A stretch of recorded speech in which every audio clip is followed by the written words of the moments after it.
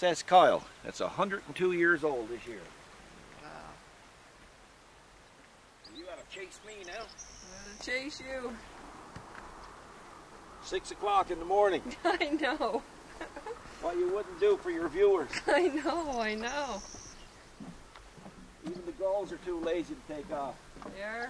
Yeah, it's too early for them to even take off. Yeah.